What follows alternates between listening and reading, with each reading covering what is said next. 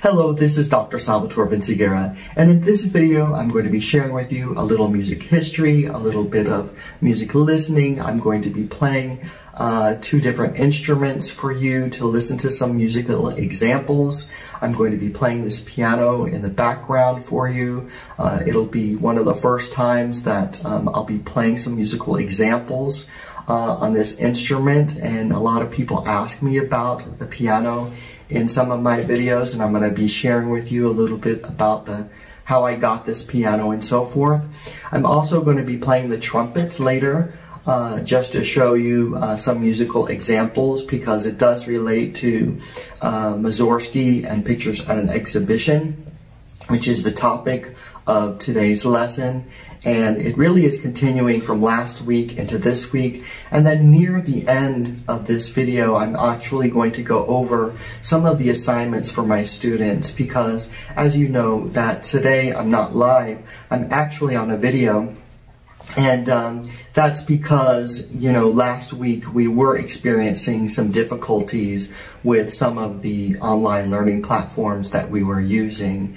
Um, you know that uh, we have been out of school the past three weeks. Uh, one of those weeks was actually spring break. And now we're continuing to do some of our lessons online using Canvas for some of our assignments. And then I have my students doing smart music assignments. And I want to thank again the Smart Music Company for allowing us to use that platform for free until June. And this is really a platform that uh, both students and I are experiencing for the first time. And um, later in the uh, video today, I'm go actually going to be sharing with you how we're using it in our classes. And it's a really neat product um, where students are having their sheet music or their method book at home. They have their musical instrument out or they're continuing their singing at home. Um, and then this particular um, platform, this musical platform, then listens to them, tells them if they're rhythmically accurate or melodically accurate, and then it actually does all of the hard work for me it grades them and then it puts it into the computer and then I can continue to make different assignments. And there are other ways of using smart music which I think will be really interesting and helpful for us maybe in the future going on into maybe next year as it could save us a lot of time in class just because I could do some assignments there that could count for test grades and it would really alleviate a lot of time that I spent listening to individuals in class and so forth um, for you know just regular assessments that we do every other week and then that way it would give us more time uh, in rehearsal because remember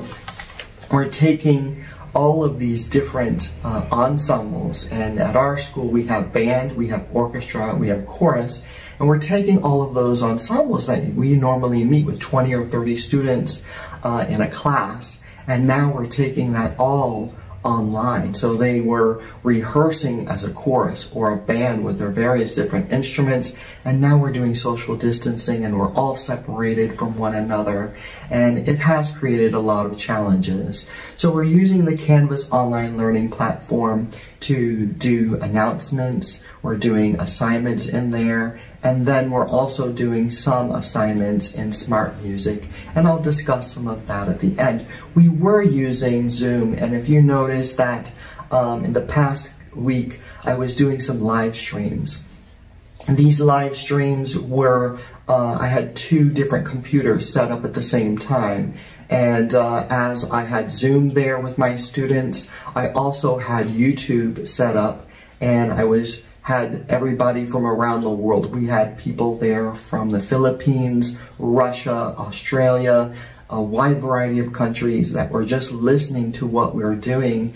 And I know that people from around the world sometimes listen to my videos uh, to learn. And uh, music education is just something that I think a lot of people are interested in. And I hope that you learned something from this video today. We were, you know, trying to do that Zoom stuff, and I, a Zoom is basically like a teleconference type of thing where you get to see people face to face, and I understand the need for that. So a lot of students maybe are disappointed. They did, the students that were in the classroom I just want to say that to everyone. They did a wonderful job. They were quiet. They listened to me.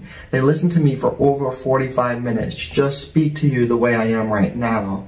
And um, I want to compliment all of them because they really do deserve and you know some award or be commended just for how they were behaving in that class and I really do appreciate it. Um, but unfortunately, other people during that week were having problems with Zoom, and uh, the last class that I had, we were being hacked by people from the outside, and it wasn't too great of an experience because I felt that our classroom was violated. Um, you may not have been able to see that uh, experience uh, because you're on YouTube and you're somewhere separate, but you, you may be able to have heard that. Uh, and, you know, for using this type of virtual learning with our students, I've used it for my doctoral degree with Boston University. And, um, you know, most of those particular online learning classes had modules. And we're very fortunate where we're trying to incorporate this live type of experience where the students get to see one another. And it's important psychologically for everyone to get to see one another. And uh, it, you know music especially because it is very social. And sometimes when a student as you heard in one of the videos earlier in the week there was a problem with an instrument. And she wanted to just um, play it for me a little bit. Or you know we sang happy birthday to one student in one of our videos.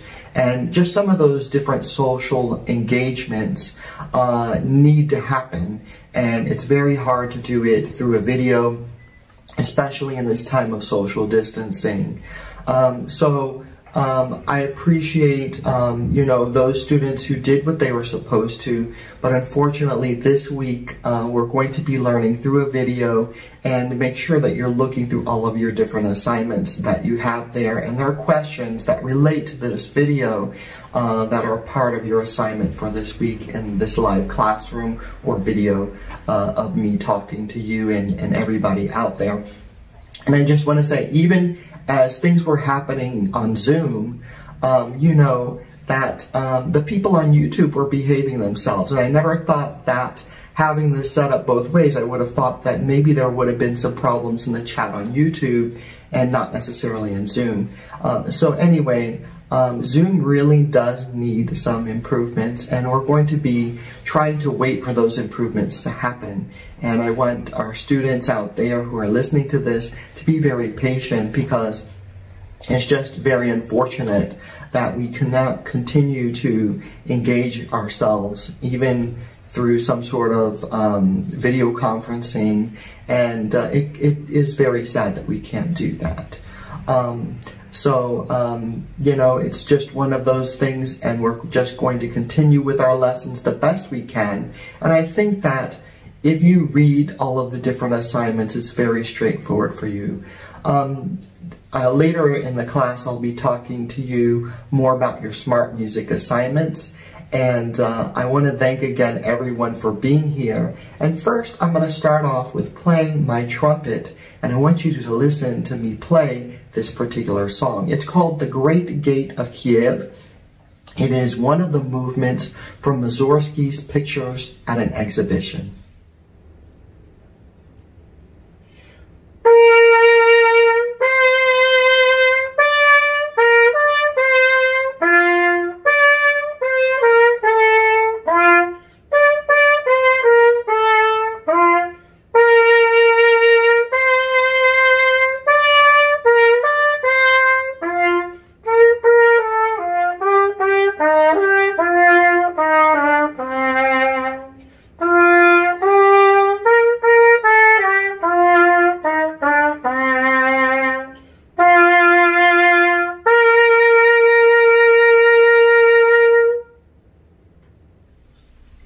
So that was the last movement of pictures at an exhibition. Uh, the movement again was the Great Gate of Kiev. And some of my trumpet students and people in my advanced band class maybe have said to themselves, oh, that sounds familiar. Where does that come from? And actually, it should sound familiar to you because we've actually played it in our method book, Essential Techniques. Um, and, you know, it, I just thought that this particular song, to expand upon it, and also to share with you last week a live recording of the All-State or the Florida All-State Guitar Ensemble performing three or four different movements from pictures at an exhibition and uh, how unique that was to hear that particular ensemble play uh, you know, different movements from this particular work. And it has a variety of different movements. I'm going to be sharing with you the history of this particular piece of music, and I'm also going to be expanding upon um, maybe what it is supposed to sound like and uh, trying to play some of these examples on this piano back here. And uh, all you pianists out there, give me a break because, um, and first of all, I'm not really that much of a pianist. And number two, um, I just had this piece of music arrive within hours of filming the video because I had been waiting for it uh, for quite some time to come in so that way I could share with my students on a live stream uh, a little bit more about the history of it so they can see what it's supposed to look like, the printed page. Um, because what they're hearing maybe as a more popular type of thing, which, or a piece of music, what they usually were to be able to hear when you play a recording on YouTube or something, is not necessarily the way the composer wrote it. And uh, there's some history behind it, which we'll share with you in a moment. So I'm going to be talking about this particular instrument here and how I got it because a lot of people are always looking for acoustical pianos and they're very expensive sometimes to buy. They can cost anywhere from $2,000 or more. And uh, this particular piano is an upright piano. It's from the 1920s and it's a Vogue mahogany piano. Um, and so I know, I know a lot of people look at this piano the, as a backdrop or as a prop in some of my videos, but it is an actual working uh, musical instrument and it is quite unique to play. And um, if you were to see different parts of it, it is beautiful because the legs of it are carved at the bottom. And if I were to remove some of the music over here, it actually has some carvings there. And I think that before I got it, somebody did a great job of restoring it. And it still needs some tuning and so forth. Um, I got this instrument for free. And uh, I used to live in Tampa, Florida, and my sister used to live in Palm Harbor, Florida and uh, you know one of the Catholic churches there that she uh, went to and I did too occasionally uh, had a bunch of pianos that they were giving away for free or they were going to throw them away. And uh, people sometimes move and you know they don't want to move the piano because it's so expensive to do so. So I actually paid to have someone uh, move the piano sight unseen into, you know, across from Palm Harbor to Tampa, Florida, and then I've moved it uh, down here to Miami. And um, it is quite a different musical instrument to play on, uh, but I know that even the pianists out there even say that there's just something about an acoustical piano that some of these electric keyboards just don't do it. And, uh, you know, I just think that that is really uh, something that I also believe in, that I don't think that uh, a real, like the Yamaha that I have in school, it's okay. It's one of the best Yamahas that we have. Uh, maybe on the market because that within itself as an electrical piano is about $2,000. Um, but there's nothing like playing on a real uh, piano because you can hear the hammer hit the strings and you can feel those vibrations and so forth. So that's a little bit about the history of this piano. Now let's learn a little bit more about pictures at an exhibition. Modest Petrovich Mussorgsky was born March 21, 1839 and died March 28 in 1881. He was a Russian composer and one of the Russian Five. The Russian Five consisted of Mily Balakirev, the leader of the group, Cesar Cui, Modest Mussorgsky, Nikolai Rimsky-Korsakov, you know, the guy who composed Flight of the Bumblebee, and Alexander Borodin. They all lived in St. Petersburg together and collaborated from 1856 to 1870. The five were also known as the Mighty Handful, the Mighty Five, and the New Russian School, and they were the five most prominent Russian composers in the 19th century. Mussorgsky was an innovator of Russian music in the Romantic period. He strove to achieve a uniquely Russian musical identity, often in deliberate defiance of the established conventions of Western music, meaning he was kind of rebelling against some of the techniques that some of these other composers of the time were doing, and he was trying to be uh, very original in how he was composing his music. Many of his works were inspired by Russian history, Russian folklore, and other national themes. Such works include the opera Boris Godunov, the orchestral tone poem Night on Bald Mountain, and the piano suite Pictures at an Exhibition. For many years, Mussorgsky's works were mainly known in versions revised or completed by other composers. Many of his most important compositions have posthumously come into their own in their original forms, and some of their original scores are now also available. One of Mussorgsky's closest friends died in August of 1873. It was painter and architect Victor Hartmann. The following year, an exhibition of his works was held. On a visit to the art exhibition, Mussorgsky was moved to compose musical illustrations to some of the drawings and watercolors. The resulting masterpiece was Pictures at an Exhibition for Piano, a cycle of ten pieces with connecting interludes. Mussorgsky composed the entire work in about three weeks. In spite of this musical work's great popularity today, it is very seldom performed in its original version. The work's first editors considered Mussorgsky's harsh harmonies too daring for the time and removed them. Though the editors meant well in their modifications and additions altered Mussorgsky's highly original and astringent musical language. Later editors not only adopted these changes, but even added their own distortions. So what you're about to see here is the piano piece that is most probably representing the most original version of Mussorgsky's work. And that's what you're seeing in these different pictures here. So Mussorgsky wanted his listeners to kind of just imagine themselves being inside of an art gallery, walking aimlessly around from one picture to another picture on the wall, and you know, just trying to interpret uh, musically uh, what these different paintings were. And it starts off with the promenade. And this melody comes back over and over and over again inside or in between all of the different movements. And he writes it very differently each time. And I'm going to play that for you in just a moment. But I also want to describe the other movements that he wrote.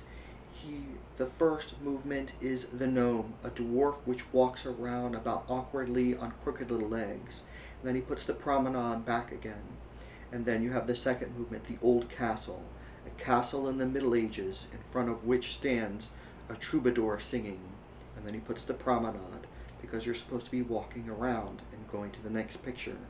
The Tuileries, subtitled Children Quarreling After Play, and this depicts an avenue in the Tuileries Gardens populated by a crowd of children and nurses.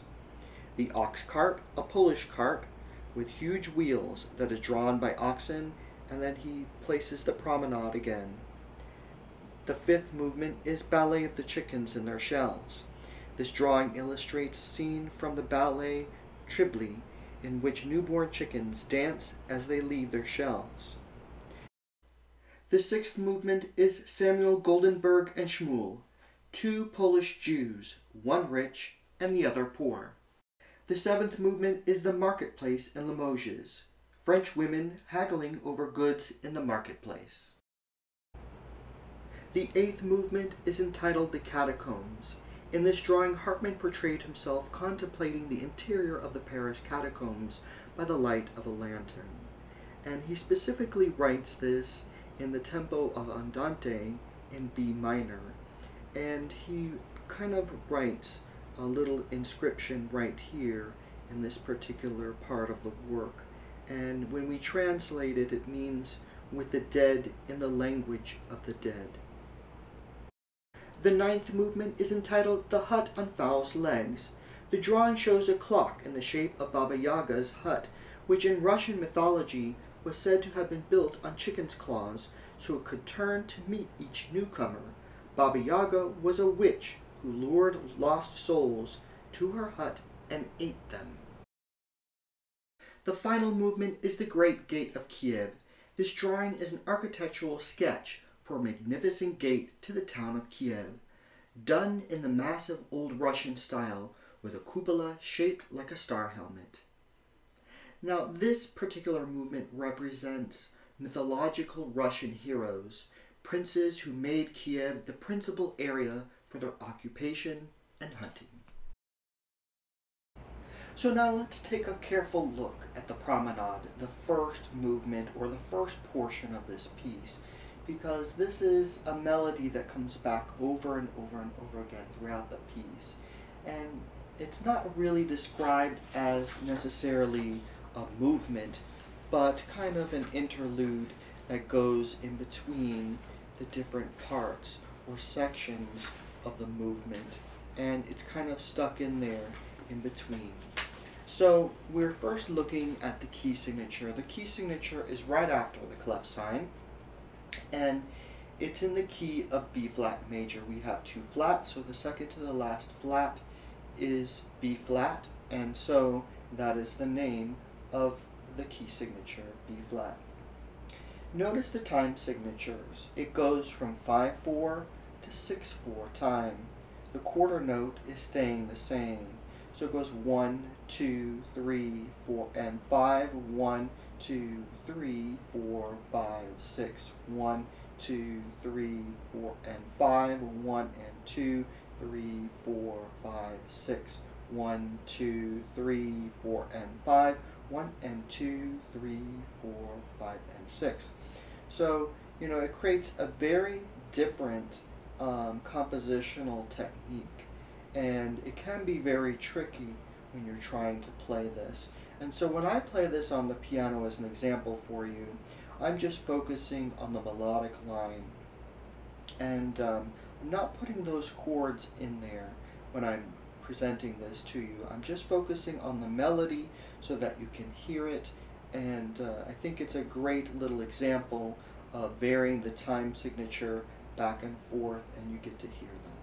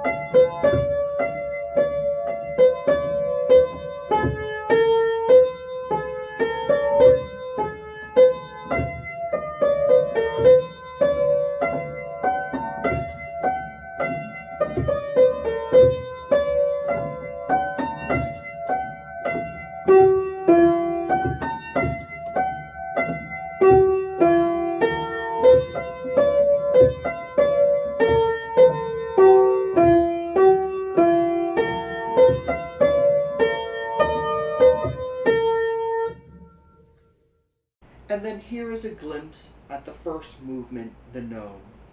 And it is a movement again about a dwarf. Notice how he portrays this dwarf and he lowers the actual register of the melodic line to bass clef. And notice he adds all of these different flats if you're looking at this piano score. So you may look at the key signature of the gnome and say to yourself, well, it's just in G flat major just by looking at it. But look a little deeper in here. And some of my students in our advanced classes, we've been learning about minor scales. So look a little bit closer and you'll see some of these naturals here.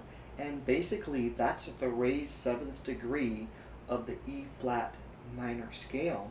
So um, he's not using G flat major, he's actually in E flat minor in the gnome.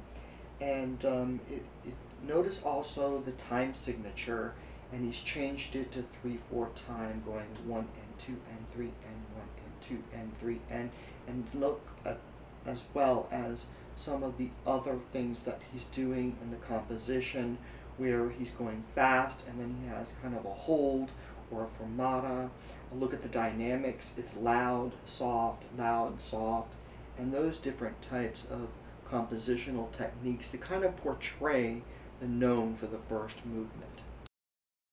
And now we're going to be comparing and contrasting the promenade that comes right after the gnome to the promenade that was at the beginning.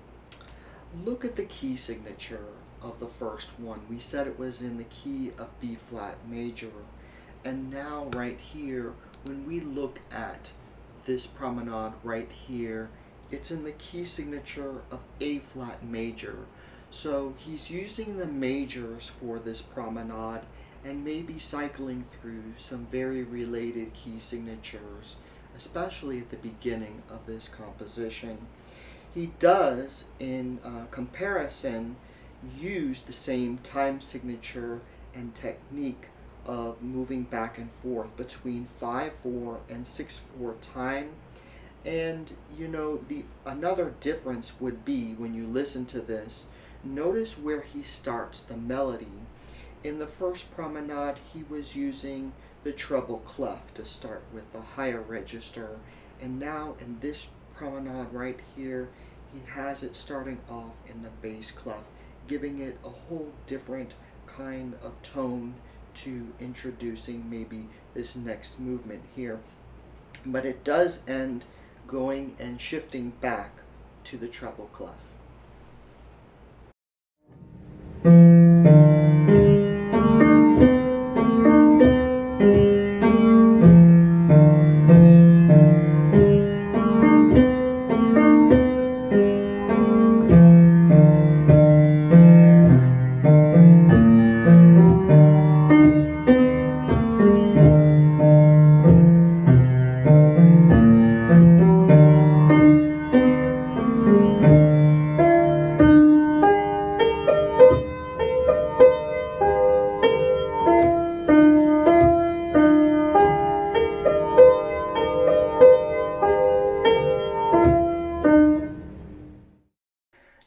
Take a look at the Old Castle, which is the second movement. And let's pay particular attention to the key signature that he is using here. This is the first time that we see sharps. And on first observation, you may say, hey, let's take that last sharp, which is A sharp, raise it a half step. Hey, we've got B major, but not so quick. Um, this is actually in the key of G sharp minor.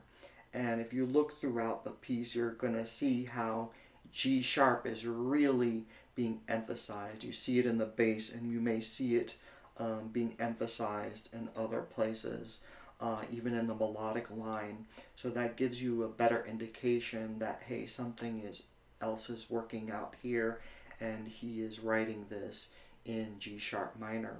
Also observe the time signature we're in 6-8 time. That means there are six beats per measure, and the eighth note is going to get the beat. And now let's listen to a little bit of the Old Castle. I'm just going to play a few measures, at least maybe up to the first phrase marking or so.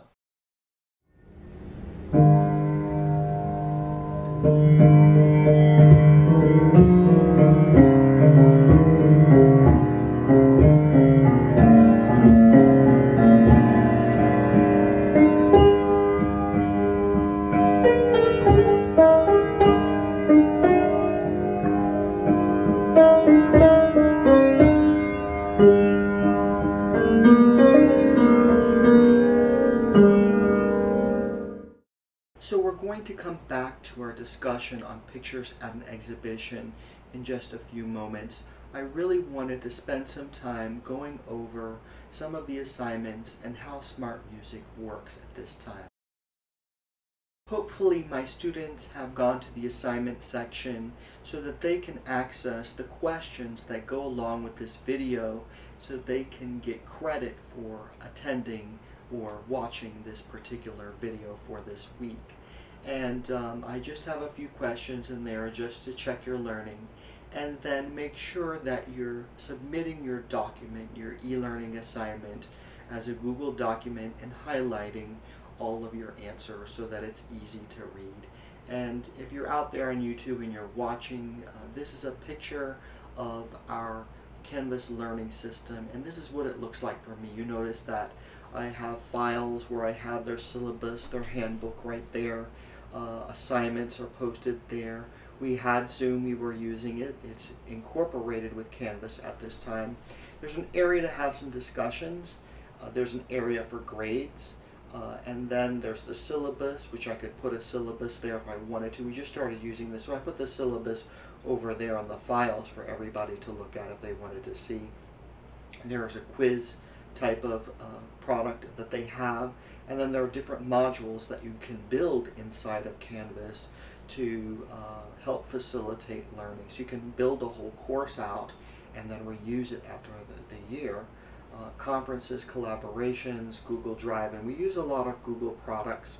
Uh, so the students are submitting their work in Google and saving them as Google files and when I make their assignment for this I save it as a Google document and then kind of uh, embed it or put it inside of the assignment section and then they can write directly on it and then submit it to me. So it's very easy. And the only other thing that they have that I'm going to show you in just a second that is outside of this that they're doing right now is Smart Music.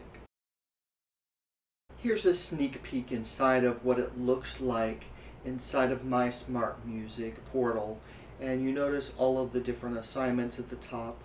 And I have band all grouped together, all chorus grouped together, and all of the orchestra grouped together. And I could have separated these different groups uh, depending upon what class that they've taken because there's really six classes, not three. And they're all different because we have the beginning class and then we also have the advanced class. So some confusion with our students is that they're not going to the top of their screen to look at their assignments and marking or selecting the button select all or see all assignments so that they can see all of the assignments.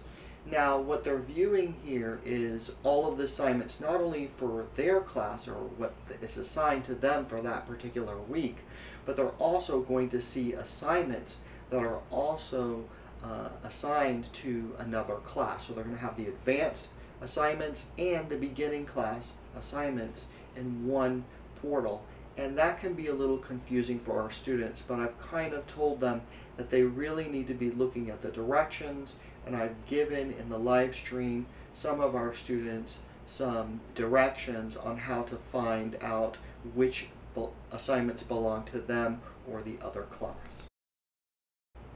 Now this is what it looks like if you were a chorus student in one of my chorus classes and this is a singing exercise and you notice it has some notes going up and then going down and then there's syllables at the bottom so course students pay attention as you're supposed to select one of these uh, syllables or words and then sing that going up and then sing that going down and uh, play around with these particular exercises over the week. You notice that it's going from different key signatures. So starting off in one key signature, going to a different key signature, and really trying to get them to listen and uh, do more of this for some flexibility and intonation um, types of techniques that they're using in chorus class. Um, so it is excellent where the student can actually play it to see what it sounds like.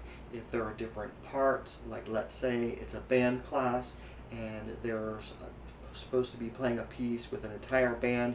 They can listen to the accompaniment part. Um, in the case of chorus, maybe there's two parts or four parts. and they're resting. They can see the other part that's supposed to be singing when they're resting, and, um, and then they can turn that on or turn that off. And right here, if you look to the right hand side of the screen, you can see my part and you see the little megaphone and they can turn that off. Right now it's muted and they can make those adjustments. And there is also, if you look to the left hand side, there's the adjustments for the metronome, the adjustments for the microphone, and there may be even a way that they can tune themselves. So I even have to learn all of these different features that they're uh, working on in, in this smart music program. And the idea is here is that students are practicing these different exercises for class over the week. And each week they get a new set of exercises. Now I'm not making it anything, uh, you know, uh, that stringent or anything for them to practice. Uh, we're testing this system and seeing how it can be used for the various classes. Um, they have the week to practice and they can do these exercises as many times as they want and uh, they computer will score them or smart music will score them their melody uh, their tempo their rhythm and some of the other musical elements. Smart music will also take into account what's going on and then it will give them a grade. And uh, so it's easy on the grading side. And remember especially students um, you can play these as many times as you want it will score you and then you can select the best score and submit it to me. So you don't have to necessarily select the first score that you get. Make sure that you're waiting and then practicing it and then whatever is your highest score then that's the score that you're going to be selecting it to and sending it to me through smart music. This picture shows at the top of the screen where students would see maybe the play button where they could hear what it's supposed to sound like. Um, there's the red button in the middle which means to record. Maybe they can play it back. Maybe there are other features that they get to see that I don't get to see. The metronomes on the right hand side at least for the volume. Um, I can toggle back as a teacher to see what it looks like for different voices. Uh, for example, this is the treble voice, and maybe then there's the, ten the tenor voice or the bass voice uh, to see how the parts look. Uh, I can also do that with the band class where I could have a band method and, or a band concert piece and toggle between maybe trumpet and flute or trumpet and see what it looks like for tuba. Um, so there are some very interesting features that we're all playing around with uh, at this time to make uh, the learning experience a little bit more interactive for our students so they can continue to practice their musical instrument or sing at home. Now for this week, uh, please listen carefully students. Uh, I'm going to be taking some of you out of your traditional method books. So I'm going to be taking you out of the essential elements books at this time for both band and orchestra and I'm going to be trying out some of these smart music exercises. So when you're looking at your assignments this week, you should be looking for the ones that say smart music exercises and then look for in the direction section, you should be looking for which class it is for because the harder assignments are going to be for the advanced class and the easier assignments are going to be for the beginning classes. So this week I'm really focusing on scales. I'm looking uh, to see that maybe everybody has some sort of competency on scale patterns, arpeggio patterns, some classes are actually going to be working on um, their dynamics and uh, different vocal exercises for the chorus students. And percussion, I'm going to be putting you in a special percussion book. And it is the Alfred's Drum Method book number two. And so always look for that. And it's going to look differently in your book too because it's supposed to really help you with your rudiments and really focus on some things that are percussion oriented, uh, really with the snare drum, because sometimes our drummers get left out and they really need to have their own kind of um, you know, method book. And sometimes it's good even to do that with other instruments too, uh, so that they can learn the proper technique for their instrument. But in our band class, sometimes with the Essential Elements book, a lot of our drummers get bored at the beginning of the class. And um, then as we get into more of the songs, they get more complicated. And so I'm hoping to supplement uh, this material just a little bit here to try it out uh, with the Alfred's Drum Method book number two. Don't forget, students, to play around with all of these different features that I'm showing you and that you're learning about, the accompaniment, my part, the metronome, etc. And, um, you know, uh, make sure that when you're submitting something, that you're submitting it and you're knowing that you're submitting and pressing that button as I cannot go back and reset and uh, have you take uh, your particular exercise again. So be very careful when you're doing your assignments this week. So now that you've had the opportunity to learn a little bit more about Pictures at an Exhibition by Modest Mussorgsky, um, I hope that maybe you can go a little bit deeper on your own and here's some food for thought. Um, you know, it is controversial in sometimes the musical world because there are purists out there that really want musical works to be performed the way they were supposed to be written. And, um, you know, is it appropriate what Ravel and other arrangers have done with Mussorgsky's work? And, um, you know, last week I gave my students um, an article to read on Wikipedia where they could listen to Ravel's work and how it does sound a lot different than this particular piano uh, arrangement. It's the same, but he orchestrated it. And uh, for purists out there, just to think about it, uh, is it okay to do something like that or is it not? Or did Ravel and some of these other arrangers, did they actually help people learn about Mussorgsky and pictures at an exhibition. So it has a wonderful history. I think it's an excellent example of program music for our students where uh, he wrote this, each picture represents something and um, in the music and uh, it's just quite a unique Russian composition. And if you learn a little bit more about uh, Mussorgsky as a Russian composer uh, and how instrumental he was in his group of Russian composers at that time. He is very significant and has written a lot of other different things like The Night on Bald Mountain and, uh, you know, those other compositions which, you know, were most probably written for piano and uh, how uh, that comes to life and totally changed. And you've most probably heard A Night on Bald Mountain uh, in Fantasia. So these are some really uh, interesting Russian compositions. So I want to thank all of my students for being here today, and I want to thank everyone out in YouTube for being a part of this music history listening type of video that I have for my students on Mussorgsky. Uh, I want everyone to take this week, look at the various assignments that I have for you, and, uh, you know, if you have questions, make sure that you contact me about that.